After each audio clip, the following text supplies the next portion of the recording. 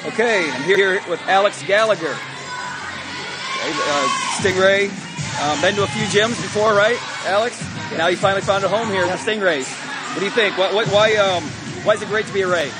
Well, the coaches are really good here, and they set up the teams very well. Um, they know how to make the teams, and they know what to do to put in them to make it sharp and clean. And I think that's why Stingrays is one of the better gyms. Good, good. So you're real happy here then, obviously. Okay, not going anywhere? Nope. okay, good. Um, how about, you know, a lot, lot of after, after school activities, a lot of different things you can involve yourself in. Um, why cheerleading? Well, you're mainly surrounded by a ton of girls the whole time, so Good answer. I think that's about the biggest part.